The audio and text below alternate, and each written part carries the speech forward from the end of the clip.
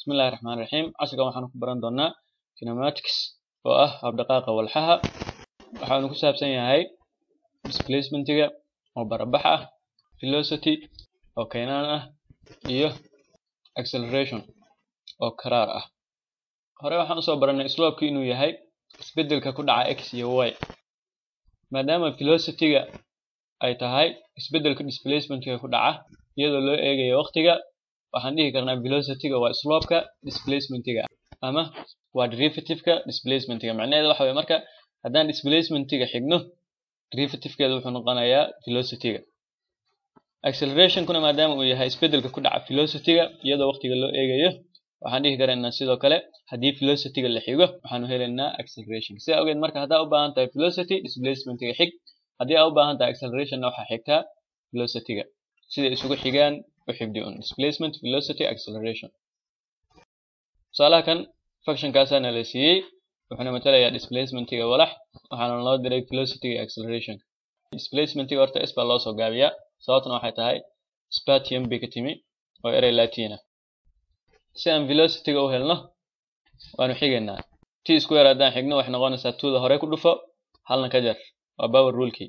Three t goortaan xigno tda one bay noqonaysaa three baa halka ku soo hadda waxaan helnay marka functionkii lagu heli lahaa velocity-ga. Accelerationka inoo haray accelerationka saa u hesho velocity-ga xig. Two t haddaa xigto halka waxa ku soo haraya two three-giina waa constant oo zero uu noqonayaa accelerationka wuxuu leegyahay two. Timekiina lama siin. Tusaalaha labaad haddeer timekii baana noo sheegay. Waxaan sameynaynaa si aad velocity-ga u hesho marka hore xig. Three iyo two isku dhufo waa six three-ga hal ka jar? Waxay noqonaysaa two. T square hadday xigto two-da hore ku dhacaysa halna way ka jarmaysaa two tan waa constant zero bay noqonaysaa. Displacementiga haddii la xiga waxaan helaynaa velocity timekii waa haysanaa marka timekii ku bedel. One ku bedel marka meesha timeka ah ka shaqeeya intaa six iyo two baa kala jarmaya four baa soo baxaya. Velocity-gana waxaa lagu cabiri jiray meter per second.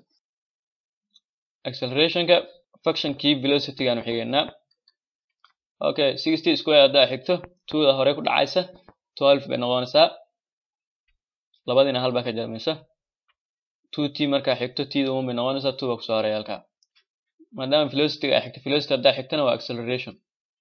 Accelerationkii waa haysanaa wey timekii ku bedel hal haddaa ku bedesho twelve haddaa two ka jarto waa ten weeye meter per second square. Casharkan waxaan ku barannay velocity si aa u hesho displacementiga xig si acceleration u heshana velocity-ga xig hada wabillahi atawfiiq